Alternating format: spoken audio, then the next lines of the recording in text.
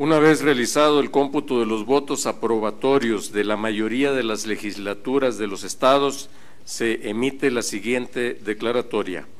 La Comisión Permanente del Congreso de la Unión, en uso de la facultad que le confiere el artículo 135 de la Constitución Política de los Estados Unidos Mexicanos y previa aprobación de la mayoría de las honorables legislaturas de los estados, declara reformadas y adicionadas diversas disposiciones de la Constitución Política de los Estados Unidos Mexicanos en materia de desindexación del salario mínimo.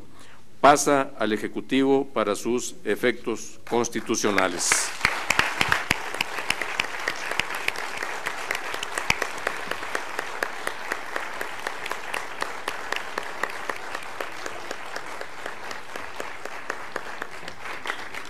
Gracias.